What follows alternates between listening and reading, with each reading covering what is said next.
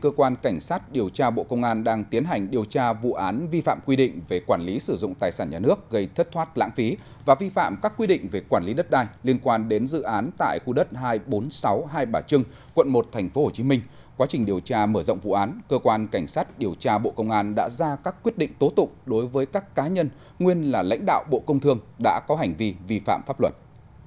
cơ quan cảnh sát điều tra bộ công an đã tiến hành các biện pháp tố tụng, ra quyết định khởi tố bị can, lệnh bắt bị can để tạm giam, lệnh cấm đi khỏi nơi cư trú và lệnh khám xét về hành vi vi phạm quy định về quản lý sử dụng tài sản nhà nước, gây thất thoát lãng phí. Đối với ông vũ huy hoàng, sinh năm 1953 nguyên bộ trưởng bộ công thương bà Hồ Thị Kim Thoa, sinh năm 1960, nguyên Thứ trưởng Bộ Công Thương, và ông Phan Trí Dũng, sinh năm 1957, nguyên vụ trưởng vụ công nghiệp nhẹ, Bộ Công Thương. Sau khi Viện Kiểm sát Nhân dân tối cao phê chuẩn các quyết định và lệnh nêu trên, Cơ quan Cảnh sát điều tra Bộ Công an đã tiến hành các biện pháp tố tụng theo đúng quy định của pháp luật. Hiện Cơ quan Cảnh sát điều tra Bộ Công an đang tiếp tục điều tra mở rộng vụ án, làm rõ toàn bộ sai phạm của các bị can và các cá nhân có liên quan để xử lý nghiêm theo quy định của pháp luật.